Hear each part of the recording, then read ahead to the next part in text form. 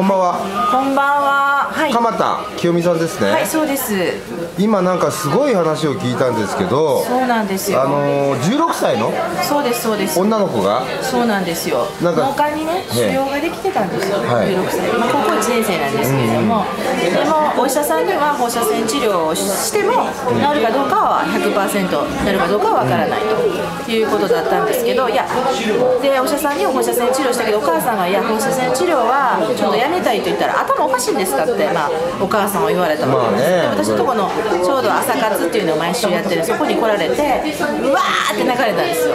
実は健康も仕事も全部一緒にできるよって話をした瞬間に、いや実は16歳の先週は何ともなかったんだけどいや実はなんかちょっとおかしかったけど耳鼻科行ってたんだけど喉に物が詰まらなくなって脳幹に腫瘍ができてたというところで、まあ、まず体温が低かったんですね彼女の35っていうでまず体温を上げるっていうことをして、はい。でその時にそうや脳幹といえば駒川先生やと。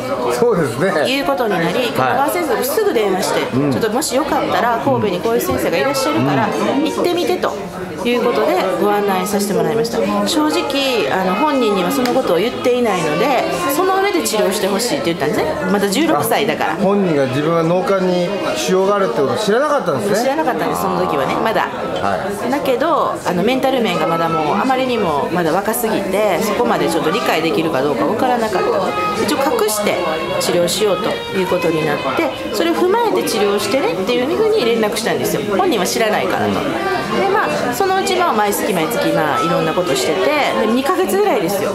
なんとこの間腫瘍が、い。消えたの？はい、消えました。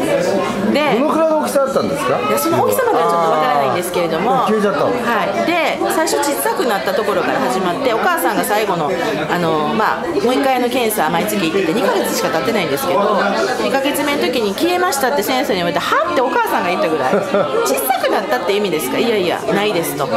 でお医者様が何と言ったか、お母さん何したんですか？聞いたという本当にんか嬉しくってね私ら毎週毎週彼女のことあの脳幹がに腫瘍ができてるからまず喉が飲み込めない水が飲み込めないっていうところからバランスが崩れてて歩けなかったんですよ最初。でもなんかちょっとずつ良くなってるのは分かっててでその度に私らも「良くなってるな何々ちゃん」って、まあ、みんなで毎週毎週褒めててなんか良くなってる。絶対大丈夫っていうのが彼女にできてきて。で周りも信じて疑わなかったので誰一人治るってことしか思わなかったから。それは本当でもすごく嬉しかった。彼女が毎週見てたので私たち仲間が。本当に亡くなったって聞いて奇跡ってすごいなって。あの本当に治ることできるんだと思って普通は無理ですって言われてたから、まあ、そういう意味で玉川先生の脳幹っていうのも本当に貢献していただいて本当に彼女も駒川先生いろんなとこ実は病院回っててあの先生はいやこの先生は嫌って言ってたんですよ。駒川先生ってすごく優しい先生だから多分大丈夫だと思うよって言ったら駒川先生は大好きって彼女が言っててで彼女駒川先生優しい先生ですから通って、えーなんと治ってしまったというすごい奇跡なようなお話を。はい。実は。はい。そんなことがありました。素晴らしい。ということです。ありがとうございます。よかった。でも